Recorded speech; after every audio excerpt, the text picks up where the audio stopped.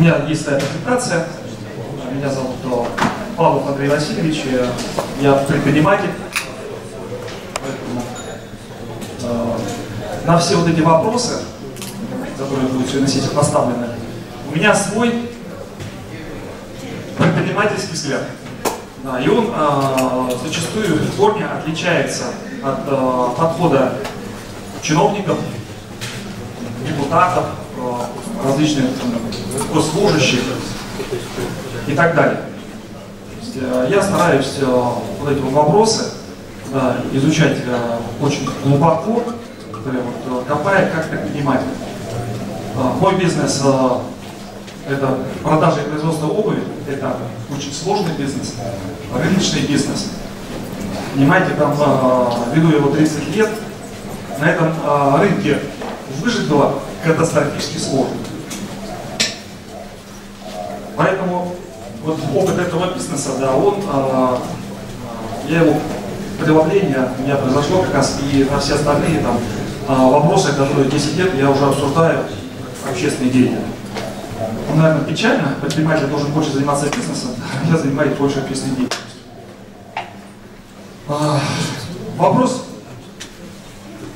мигрантов, миграционной политики. Вопрос демографии – это вопрос справедливости. Если в России справедливость а, последние 30 лет, а, видим ли мы ее, да, я считаю, что не видим. Вопрос, эти вопросы вплотную а, соприкасаются с экономикой. Ну, знаете, как политика и экономика, да, они выходят одна из, э, все вопросы, они взаимосвязаны. Политика занимается экономикой, экономика занимается политикой.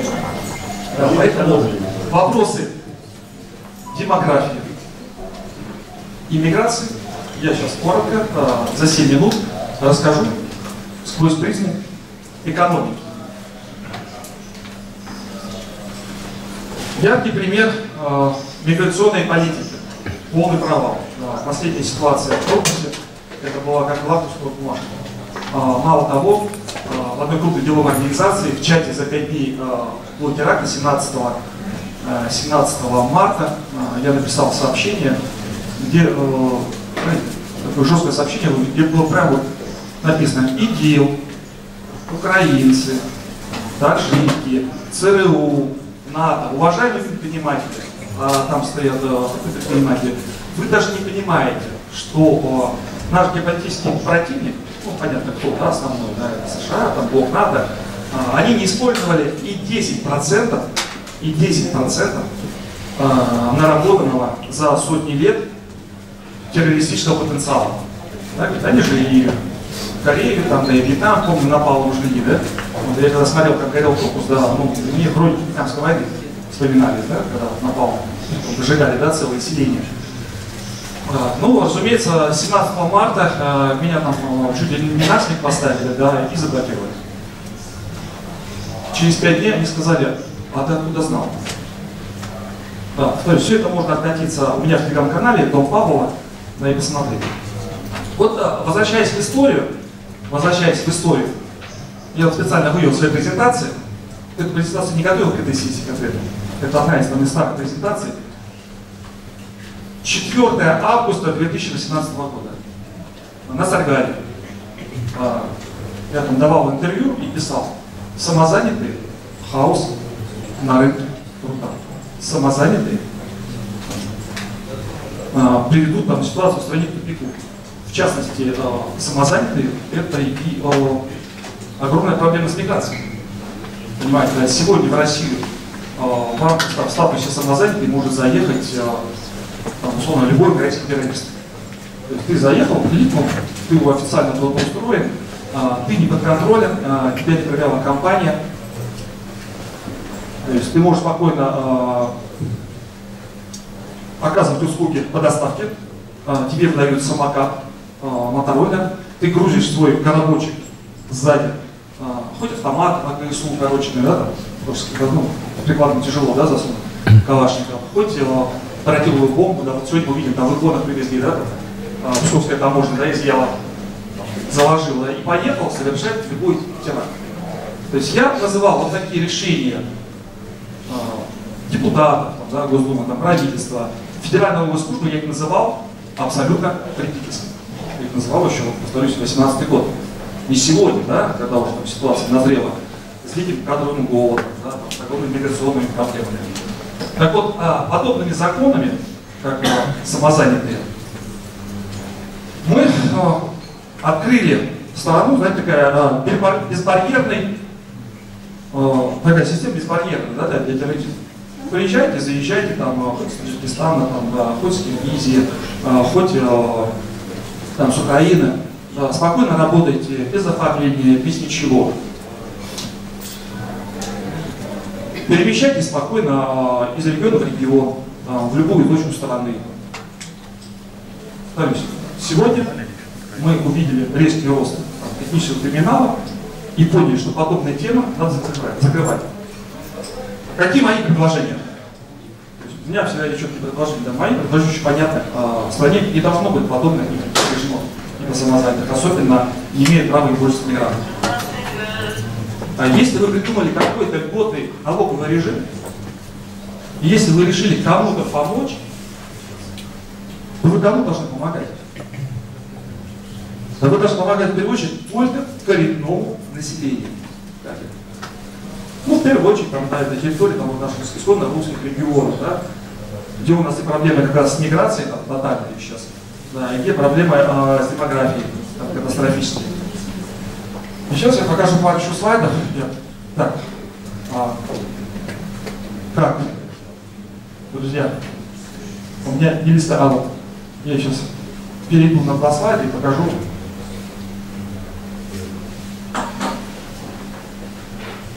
Вот такой интересный слайд.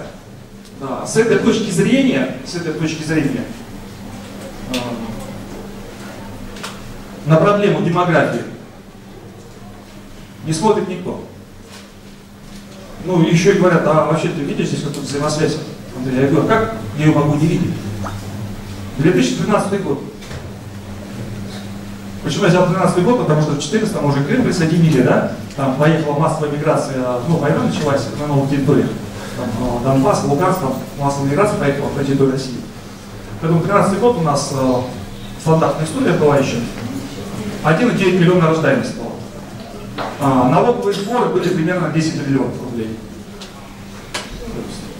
Налоговые сборы на одного родившегося ребенка, на одного родившегося ребенка были примерно 5 миллионов рублей.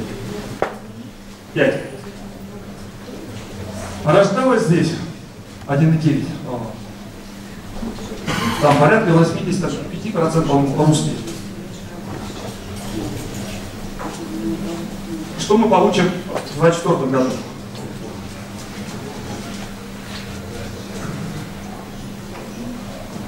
А вот это и есть катастрофа. Вот это вот и есть история десятилетнего давления на бизнес, в первую очередь на русский бизнес, исходно русских регионах, в первую очередь. И мы пришли к тому, что в этом году мы ожидаем прогноз по сбору налогов 53 триллиона рублей, а рождаемость катастрофически низкую. Миллион сто пятьдесят. Мы знаем, сколько роста паспортов, ну точно я не знаю, это миллионы да, за последние 10 лет. Там, в год, а, по в прошлом году только так, что даже Таджикистан мы получили 173 миллиона тысяч да, паспортов.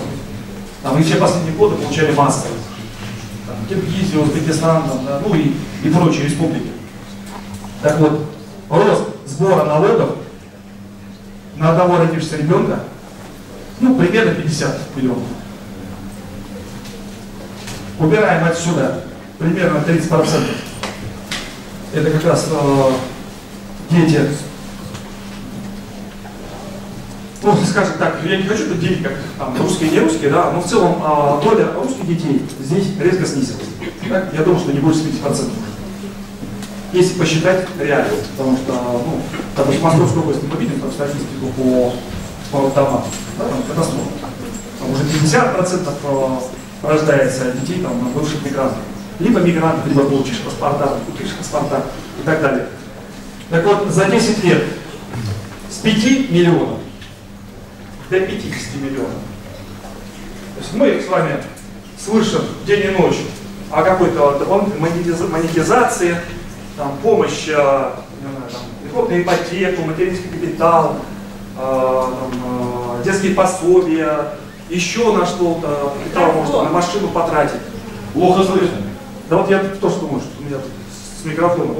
С микрофоном проблема. А можно микрофон включить? Я не слышно. Ну, буду громче говорить, да. Мы слышим огромный объем имитации бурной деятельности, но факт-то вот он. Факт в том, что примерно э, на одного родившегося вот, русского ребенка рост налоговых сборов в этом году, в 2024 будет в 11 раз больше, примерно в 11 раз, чем в 13.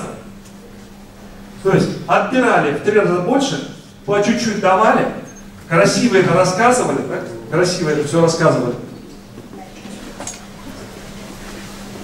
А в итоге, э, да, ситуацию только усугубили. И самое главное, что дальше она будет только ухудшаться. Так, едем дальше. Э, следующий слайд. Вот еще один слайд, на котором я внимание заострю, потому что у меня три минуты и другие спикеры, а потом мы там продолжим полемику. Вот яркий пример. 2010 э, год. Население Чеченской Республики миллион двести семьдесят. Э, где-то году, там, за пару лет до этого э, я сидел в Урус-Мартане у Аптяла Удинова, ну, очень уважаемый герой России, командир спецназа Ахмат. У него сидели дома, скандалы там забрал. Всю ночь он мне рассказывал, как в Чеченской Республике будут наводить порядок. Это был, по-моему, 2008 год. Чечня еще разрушена, какой-то порядок начали там наводить, там какие-то дороги там строить. Там проспект Путина немножко там отремонтировали. И вот мы с ним беседовали всю ночь. Все, что он мне ту ночь говорил, спустя сегодня 15 лет, в Чечне все реализовано. Рост населения миллион 270. Миллион 533. 33 год, миллион восемьсот, и это будет реализовано. А, мои родные регионы, Новгородская, Псковская область, я их просто объединил, вот две области. Мы стартовали с одной точки, сегодня это уже 1,164, здесь будет миллион. Если мы ничего не будем. Минус 20% минимум ну, других национальностей, да, там тоже очень большое количество мигрантов сейчас приехало. То есть мы идем к катастрофе. Да, мы просто идем к катастрофе. За счет чего а, в Чечне такой рост? Нет, друзья, это далеко, не, знаете, там, э, хватит кормить Кавказ, там мы деньгами там залили. А там не пьют. Вот я приезжаю в Грозный, да, а там не курят, а там занимаются спортом. А там действительно одноэтажное строительство там, большие дома, там, да, в селениях, там, в горах, да и в самом Грозном, да, большое количество домов. Живут большие семьи, на 5 по 6 детей. Да, большой уровень теневой экономики. Кстати, это тоже очень важно. Потому что когда в предыдущем слайде э, Федеральная налоговая служба, ну и лично там, глава правительства, начали давить, в первую очередь, повторюсь, э, на русское население, то в Чеченской республике ничего не поменялось. Там как была теневая экономика, но эта теневая экономика кормит местное население. Вот есть нарушения, нет нарушений. Очень важно, очень важно, куда уходят деньги. Да? У нас деньги из кармана там, русского предпринимателя, а, забирает бюджет, а, б, кто-то еще там увозил из стороны, да? А там, как мне когда-то говорил Иванович Лаудинов, вот есть предприниматель, сначала ты построишь стадион, детский садик, отремонтируешь школу, сделаешь боксерский клуб, борцовский клуб, все вот это сделаешь, и потом тебе честь и хвала свой дом. И не дай Бог ты поступишь по-другому,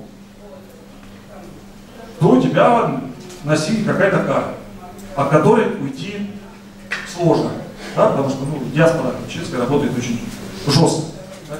Поэтому ты сначала подумай о своих силовиках, а потом подумай о себе. У нас наоборот.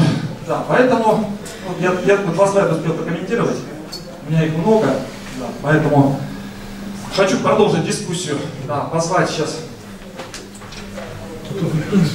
на сцену Так, Гребенюк Александр Александрович, заместитель директора по научной работе Высшей школы современных социальных наук МГУ имени Ломоносова. Ребят, поставьте презентацию.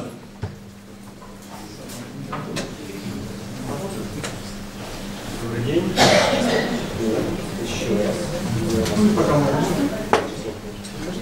Добрый день, как меня слышно? Ничего не слышно. Он разойдется, он Ага, так, вот так лучше. Да, добрый день, во-первых, большое спасибо за возможность выступить. Тема демография, миграция в одной секции 30 минут. Две сложнейшие темы. Ну, конечно, в таком формате вот бегом обсуждать это даже... Нет, я имею в виду 30 на всю секцию. А там... А, час 30, да? А, 15 минут хорошо. Значит, трудовая миграция. Наверное, один из самых сложных социальных процессов, социальных политических на сегодняшний день процессов для понимания, для обсуждения разные точки зрения, разные позиции. А, И вот мы уже какое-то длительное время находимся в таком состоянии реформирования подходов к управлению миграцией. В этом мы находимся, наверное, по большому счету 2007, 2006, 2007 года.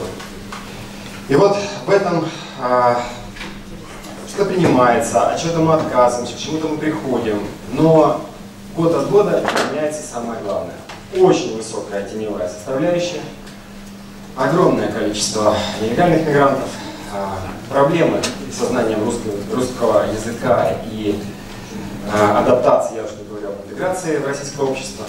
Проблем очень много. Как вы знаете, буквально несколько дней, как снова инициирован но, новая века в нашем миграционном законодательстве, подготовлен законопроект, внесен. Там а, есть вещи, о которых мы говорим там, с 2013 года, есть вещи, о которых, допустим, цифровизация с 2017 года. А, но экспертное сообщество твердит, что ну, эту сферу однозначно нужно цифровизовывать, однозначно нужен учет, однозначно нужно инвестировать. Более того, а, это сделать не так сложно. В концепции миграционной политики 2018 года примерно треть всей концепции была посвящена именно цифровизации, но 5 лет как бы это не двигалось.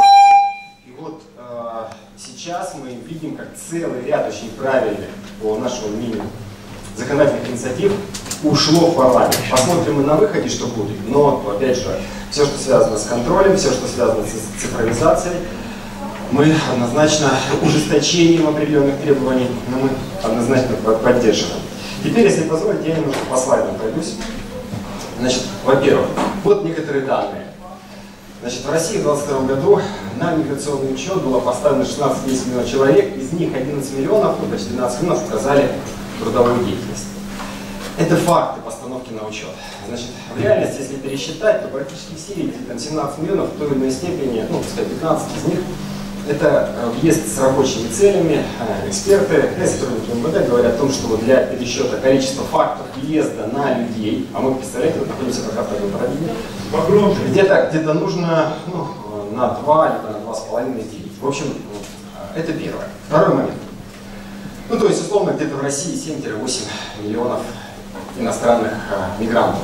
Это мы о потоке говорим. О контингенте вообще очень сложно говорить, сколько находится очень долго на территории. И вообще э, мигра... э, мигранты различные категории постоянно перемещаются внутри различных статусов, въезжают, выезжают, э, доходят до вид на жительство, потом снова какой-то другой статус. Учебные мигранты также перемещаются. Вот эта сфера, в которой идет постоянно социальная динамика.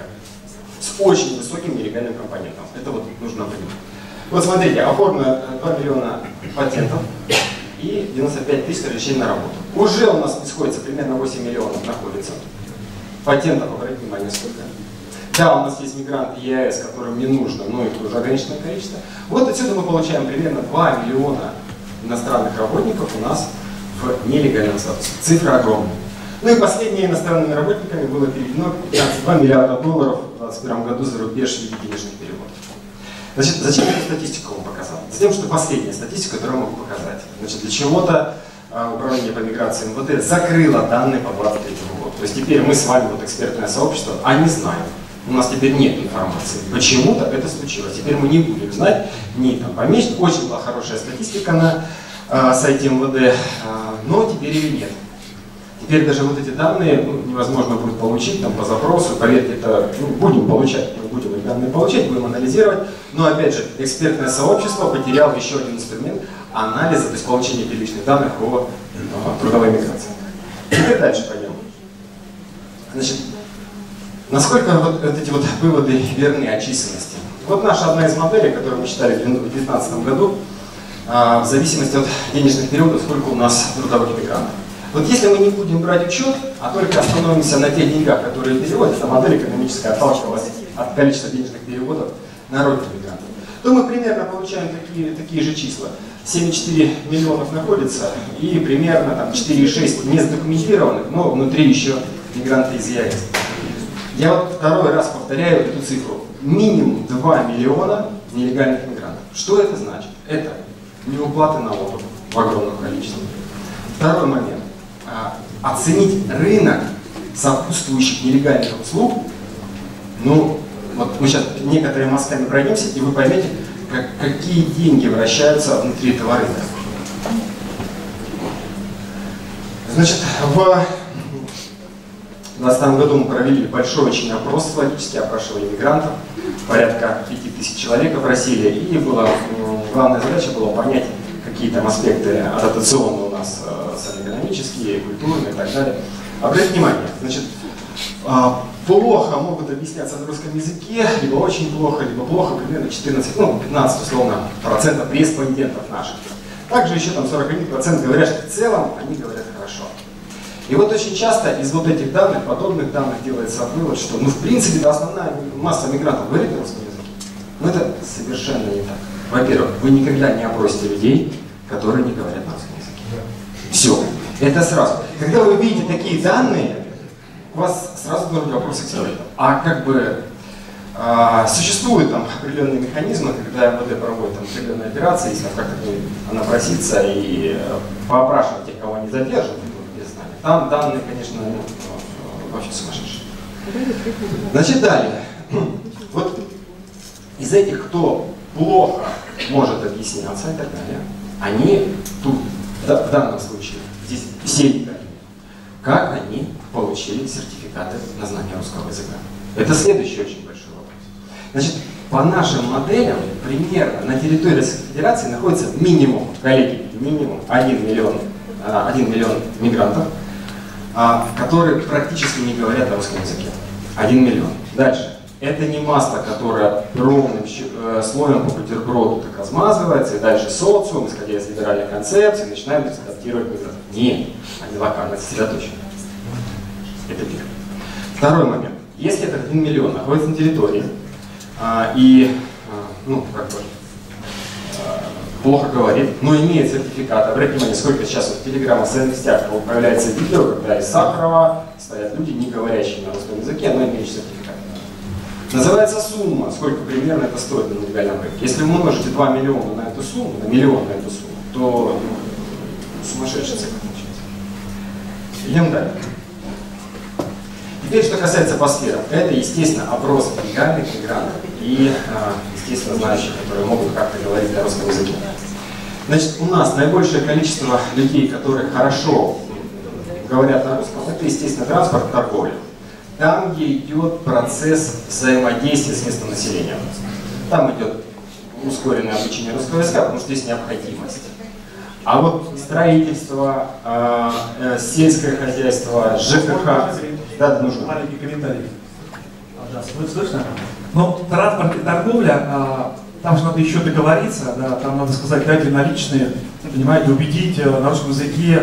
Да, скорее всего, вот эти фразы, они особенно хорошо выучены мы сейчас это видим, да, там, потому что в торговле и в транспорте идет огромный там обнал, так назовем, на сотни миллиардов рублей. А, опять же, вот